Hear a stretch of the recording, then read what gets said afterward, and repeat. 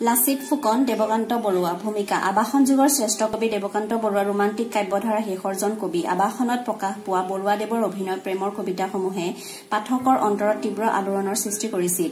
এইগৰাকী কবিক যুগসন্ধিৰ কবি বুলি আখ্যা দিয়া হয় কিয়নো ৰোমান্টিক পৰিধি পাৰ হৈ আহি তেখেতৰ কবিতাতে আধুনিক কাব্যধাৰাই মূৰ দাঙি উঠিছিল। মুখ্যতঃ প্ৰেমৰ কবি। হোৱাৰ বাবেই তেখেতৰ কবিতাত ৰোমান্টিক প্ৰেম প্ৰণয়ৰ মাত্ৰা অধিক যদিও স্বদেশ প্ৰেমৰো উপাসক এইগৰাকী কবি। লাচিত ফুকন কবিতাৰ মাজেৰে পৰাধীন কালৰ অসমৰ কৰুণ আৰু দুৰ্ভাগ্যজনক ছবি দাঙি ধৰি স্বাধীনতা সংগ্ৰামী দেৱকান্ত বৰুৱাই দেশৰ ডেকা শক্তিক জগাই তুলিবলৈ বিচাৰিছে। কবিতাটিৰ সাৰাংশ লাচিত বৰফুকনে নিজৰ শৌৰ্য বীৰ্য আৰু পৰাক্ৰমেৰে অসমৰ ইতিহাসত নিজৰ নাম সোণালী আখৰেৰে লিখি যাবলৈ সমৰ্থ হৈছিল। লাচিতৰ সাহসৰ বাবে ৰামসিংহৰ নেতৃত্বত অহা বিশাল মোগল সেনা বাহিনীক অসমীয়া সেনাই পৰাজিত কৰিব পাৰিছিল। নিজ দায়িত্ব সুচাৰুৰূপে পালন কৰিবলৈ গৈ কৰ্তব্যত অৱহেলা কৰা মোমায়েককো হত্যা কৰিবলৈ এইগৰাকী বীৰে কুণ্ঠাবোধ কৰা নাছিল।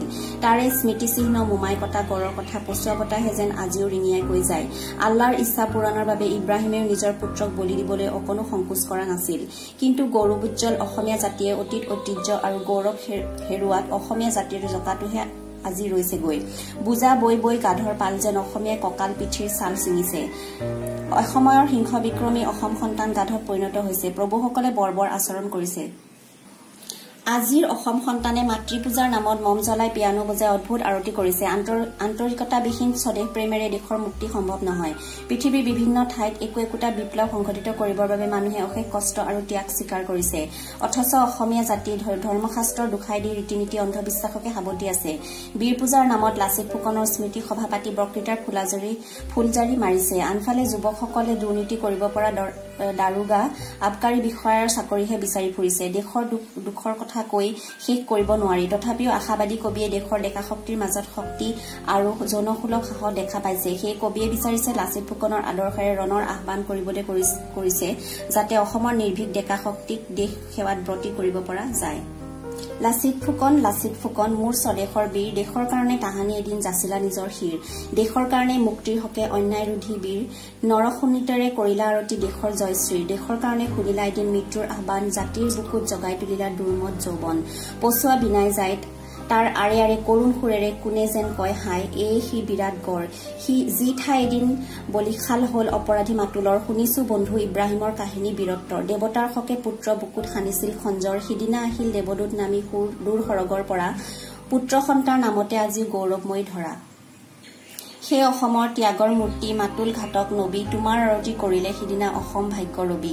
দেশৰ বাতৰি শুনিবানে বীৰ নিদিও তোমাক ফাঁকি তোমাৰ অসম নাই আৰু আজি জকাটোহে তাৰ বাকী। লুইতৰে বিশাল পাৰত নাই আৰু অসমীয়া মৰি সজি ঢুকাল সকলো চিনচাত নাইকিয়া। অসমৰ এই কাম্যভূমিত চৰিছে গাধৰ পাল বুজা বৈ বৈ পৰিল কঁকাল পিঠিৰ চিগিল ছাল।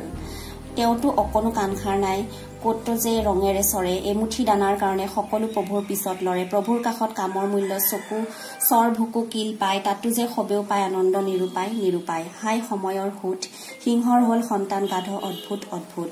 আনফালে সৌ আপোন অন্ধ নকল নবীজ দল। মুক্তিৰণৰ মক ফাইট কৰি ফাঁকিৰ আনিছে ঢল। পিয়ানো বজাই পূজাৰ আৰতি বেদীত মমৰ বাতি। জ্বলাই আনিব দেশৰ মুক্তি পোৱাব দুখৰ ৰাতি। দেশ জননীয়ে বিনাই শোকত শুনি আহ্বান আবাস মুক্তি পলাল দেখিয়ে পূজাৰ অদ্ভুত আয়োজন। স্বদেশ প্ৰেমৰ কোবাল সোঁতত দেশ আজি তলমল। স্বদেশৰ গছ স্বদেশৰ শিল স্বদেশৰ বাঁহতল সকলোতে আজি স্বদেশী কবিৰ কবি অন্তৰ জাগে। দেশৰ মানুহ নেখাই মৰিছে সন্ধান কোনে ৰাখে? বাহিৰত সৌ ঘটে বিপ্লৱ অশেষ যত্ন কৰি। আমি আমি নিৰূপিলো কাণেৰ মূল্য কিমানত কেই ভৰি। শাস্ত্ৰৰ তলি উদি হৈ গল নেলাগিল মাথো ঠিত। মৰ আও শীত শাল বালে লাগে কেই ধেনু পৰাচিত। ত্ৰিশ দিন আৰু এঘাৰ দিনৰ গছকত খাই পৰি দক্ষিণী অসম জননীৰ দেখি কোঙা হল হাত ভৰি। বক্তৃতা দি আকাশ কপাই চিঞৰত টেটু ফালি বাঁহৰ কামিত চূণ সানি লৈ ধৰো আমি ৰণ চালি। বছৰি বছৰি স্মৃতি সভা পাতি বীৰ পূজা কৰি বীৰ তোমাৰ খাবা ধৰি খাওঁ বিচাৰি চাকৰি আবাগাৰী দাৰোগাৰ। এই সি অসম দেশ। দুখৰ কাহিনী কিমান শুনিবা নপৰিব তাৰ শেষ। দেশৰ মানুহ তুমিতো বুজিছা স্বদেশৰ এই গ্লানী। তুমিতো দেখিছা মৰণৰ চাহ অসম আকাশ চানি স্বদেশ পূজাৰ মন্দিৰ যাৰ কেৱল লোকেল বোৰ্ড জ্ঞান সাগৰৰ দুই পাৰ যাৰ চিভিল পিনাল কোড মন্ত্ৰিত্ব যাৰ শেষ কল্পনা এছেম্বলি যাৰ আশা সিনো কি বুজিব হে বীৰ তোমাৰ ৰণ দুৰ্দম ভাষা। দেশৰ কাৰণে আজিও বিনাই হেজাৰ ডেকাৰ হিয়া দেশৰ সেনানী আকৌ মাথোন এবাৰ হুকুম দিয়া আকৌ এবাৰ শুনোৱা তোমাৰ ৰণ আহ্বান বাণী আকৌ এবাৰ ৰঙা কৰি মৰো লুইতৰ বগা পানী। শব্দাৰ্থ সুনীত তেজ জয়শ্ৰী শত্ৰুক পৰাজয় কৰিব পৰা সৌভাগ্য বিজয়ৰ ফলস্বৰূপে লাভ কৰা মান বা সৌভাগ্য। দুৰ্মত অতি পৰাক্ৰমী মাতুল মামা মোমাই গড় মাটিৰে বন্ধা ওখ ঢিপ খঞ্জৰ তৰোৱাল নবী ঈশ্বৰৰ বাণী বহন কৰি আনোতা মহাপুৰুষ ৰবি সূৰ্য।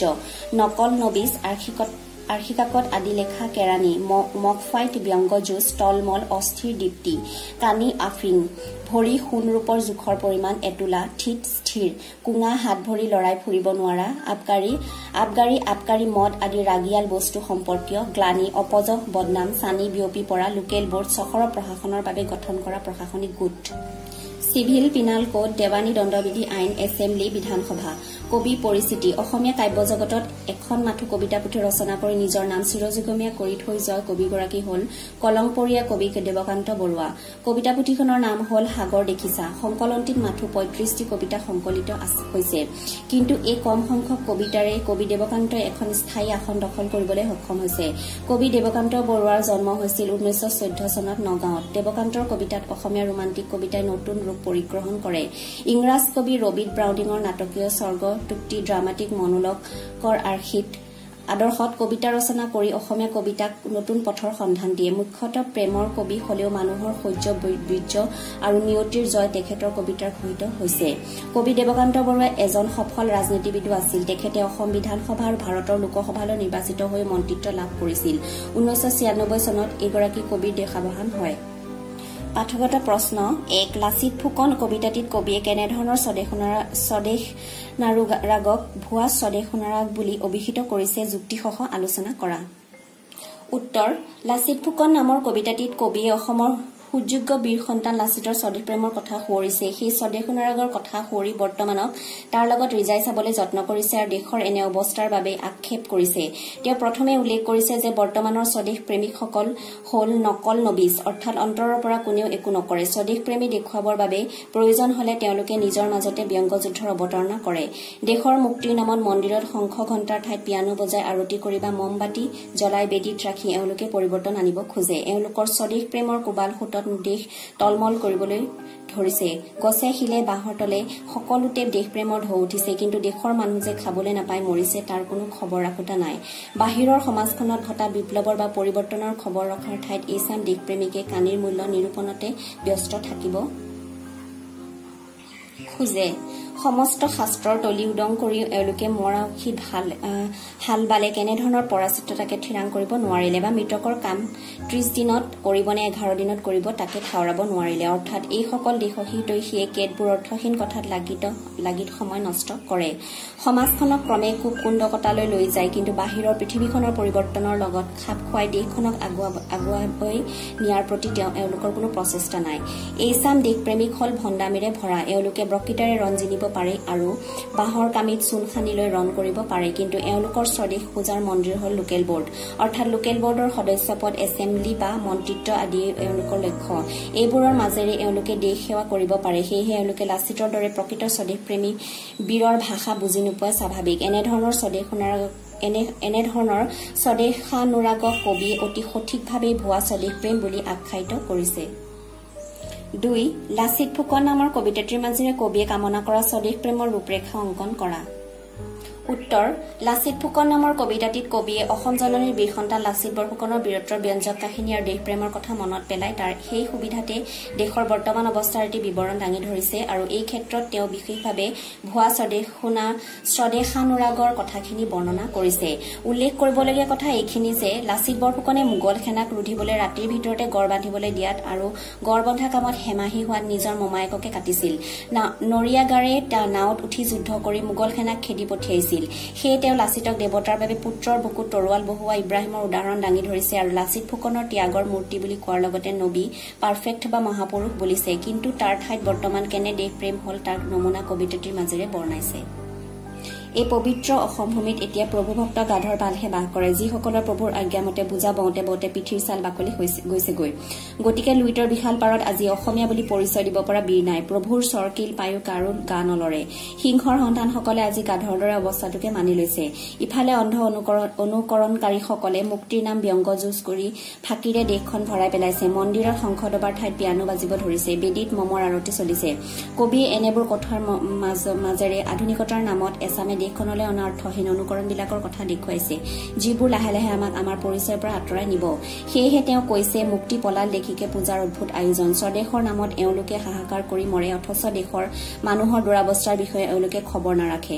সাধাৰণ নীতি নিয়ম আদিৰ মাজতে সোমাই এইসকল দেশপ্ৰেমীকে বাহিৰৰ বিপ্লৱৰ বিশেষ বিষয় গমেই পোৱা নাই। বছৰি বীৰ স্মৃতি সভা পাতি দেশপ্ৰেমৰ বক্তৃতা দিয়াসকলে আবকাৰী দাৰোগাৰ চাকৰি একোটাৰ কাৰণে হাবাথুৰি খায়। লোকেল বোৰ্ডৰ সদস্য পদে এওঁলোকৰ দেশ সেৱাৰ মন্দিৰ বা কোনোমতে ওকালতি পাছ কৰাকে এওঁলোকে জ্ঞানৰ আৰু মন্ত্ৰিত্ব এছেম্বলি আদিয়ে যাৰ আশা সেইসকলে দেশপ্ৰেমীকে লাচিতৰ ৰণৰ ভাষা কি বুজিব? তথাপি তেওঁ ভাবে যে এতিয়াও দেশৰ বাবে বহু যুৱকৰ প্ৰাণে কান্দে আৰু বহুতে লাচিতৰ দৰে বীৰৰ এটা আদৰ্শৰ বাটে বাট চাই ৰয়। সেই কবিয়ে লাচিতক আহ্বান জনাইছে যেন তেওঁ আকৌ তেওঁৰ সেই দেশপ্ৰেমৰ মন্ত্ৰৰে অসমৰ নিস্বাৰ্থ সেনানীসকলক দেশৰ স্বাৰ্থত থিয় দিবলৈ আহ্বান জনায়। তিনি দেশপ্ৰেমমূলক কবিতাক আগবোলে দেশপ্ৰেমৰ নমুনা কবিতাটিত কেনেদৰে প্ৰতিফলিত হৈছে আলোচনা কৰা? উত্তৰ যিবোৰ কবিতাত নিজৰ দেশ তথা জাতিৰ প্ৰতি প্ৰেম ভাৱ উঠলি উঠে তেনে কবিতাকে স্বদেশ প্ৰেমমূলক কবিতা বোলে। এনেবোৰ কবিতাত আমি সাধাৰণতে বিদ্ৰোহ আৰু আশাবাদ এই দুয়ো ভাৱেৰে প্ৰকাশ দেখিবলৈ পাওঁ। দেৱকান্ত বৰুৱাৰ লাচিত ফুকন এই দেশপ্ৰেমমূলক কবিতা। কবিতাটিত দেশপ্ৰেম আৰু আশাৰে আমাৰ অতীত ঐতিহ্যক বিচাৰ কৰি চাবলৈ সুবিধা দিছে। এইখন এনে এখন দেশ য'ত লাচিত বৰফুকনৰ দুৰ্জয় সাহস আৰু শৌৰ্যবীৰ্য পৰাক্ৰমে অসমীয়া মানুহৰ মন উঠলাই তুলিছিল যাৰ ফলস্বৰূপে মোগলৰ বিশাল সেনাবাহিনীক অসমীয়া সেনাই পৰাজিত কৰিছিল। দেশৰ প্ৰতি থকা দায়িত্ববোধৰ বাবে কৰ্তব্যত অৱহেলা কৰা মোমায়েককো হত্যা কৰিবলৈ লাচিতে কুণ্ঠাবোধ কৰা নাছিল। কিন্তু এসময়ৰ গৌৰৱাশীল এই অসমীয়া জাতিয়ে অতীত গৌৰৱ হেৰুৱাইছে। সিংহ পৰাক্ৰমী অসমীয়া জাতি আজি গাধত পৰিণত হৈছে। সংকীৰ্ণ চিন্তা চৰ্চালৈ তেওঁলোক ব্যস্ত। ৰাজনৈতিক ক্ষমতা দখলৰ আশাত এনেবোৰ অসমীয়া আন্তৰিকতাই বিশেষভাৱে লাচিত দিব পাতি বীৰ পূজা কৰিছে কবিয়ে আশা কৰিছে আকৌ এবাৰ লাচিতৰ ব্যৰ্য নিনাদ বাজি উঠিব। অসমীয়া ডেকাৰ মনত দেশপ্ৰেমৰ অগণি জ্বলি উঠিব। কবিয়ে সেয়ে কৈছে আকৌ এবাৰ শুনোৱা তোমাৰ ৰণ আহ্বান বাণী আকৌ এবাৰ ৰঙা কৰি মৰো লুইতৰ বগা পানী। অতি চমু প্ৰশ্ন। এক দেৱকান্ত বৰুৱাক কিয় যুগসন্ধিৰ কবি বুলি কোৱা হয়? উত্তৰ দেৱকান্ত বৰুৱাই ৰোমান্টিক যুগৰ শেষ আৰু আধুনিক যুগৰ আৰম্ভণিতে কবিতা ৰচনা কৰিছিল। এই দুই যুগৰ সন্ধিক্ষণত কবিতা ৰচা বাবে তেওঁক যুগসন্ধিৰ কবি বুলি কোৱা হয়। দুই দেৱকান্ত বৰুৱাৰ কবিতা পুথিখনৰ নাম কি? উত্তৰ সাগৰ দেখিছা। তিনি অসমীয়া কাব্য সাহিত্যত নাটকীয় একুক্তি বা স্বৰ্গটোক্তি কোনে প্ৰথমে ব্যৱহাৰ কৰিলে? উত্তৰ ইংৰাজী কবি ৰবাৰ্ট ব্ৰাউনিঙৰ নাটকীয় স্বৰ্গটোক্তি বা নিৰ্দনোক্তিৰ ড্ৰামেটিক মনোলগ আদৰ্শেৰে অসমীয়া কাব্য সাহিত্যত নাটকীয় একুক্তি বা স্বৰ্গটোক্তি দেৱকান্ত বৰুৱাই প্ৰথমে ব্যৱহাৰ কৰিলে। চাৰি ইব্ৰাহিম কোন? উত্তৰ অতি ধৰ্মপৰায়ণ এজন ব্যক্তি যিয়ে আল্লাৰ ইচ্ছা পূৰণৰ বাবে নিজৰ পুত্ৰক বলি দিবলৈ অকণো সংকোচ কৰা নাছিল। পাঁচ মাতুল ঘাটক নবী বুলি কবিতাটিত কাক কোৱা হৈছে? উত্তৰ কবিতাটিত মাতুল ঘাটক নবী বুলি লাচিত বৰফুকনক কোৱা হৈছে। ছয় লাচিত ফুকন কোন শ্ৰেণীৰ কবিতা? উত্তৰ স্বদেশ প্ৰেমমূলক কবিতা। সাত কবিতাটিত গাধৰ বাল বুলি কাক ব্যংগ কৰিছে? উত্তৰ কবিতাটিত গাধৰ বাল বুলি এসময়ৰ সিংহবিক্ৰমী অসম সন্তানক ব্যংগ কৰিছে। প্ৰসংগ সংগতি দৰ্শাই ব্যাখ্যা কৰা। এক সেই অসমৰ ত্যাগৰ মূৰ্তি মাতুল ঘাটক নবী তোমাৰ আৰতি কৰিলে সিদিনা অসম ভাগ্য ৰবি। দুই ত্ৰিশ দিন আৰু এঘাৰ দিনৰ গছকত খাই পৰি দুখিনী অসম জননীৰ দিশী কুঙা হল সাত ভৰি। তিনি মন্ত্ৰিত্ব যাৰ শেষ কল্পনা এছেম্বলি যাৰ আশা সিনুকি বুজিব সেই বীৰ তোমাৰ ৰণ ৰুমত ভাষা?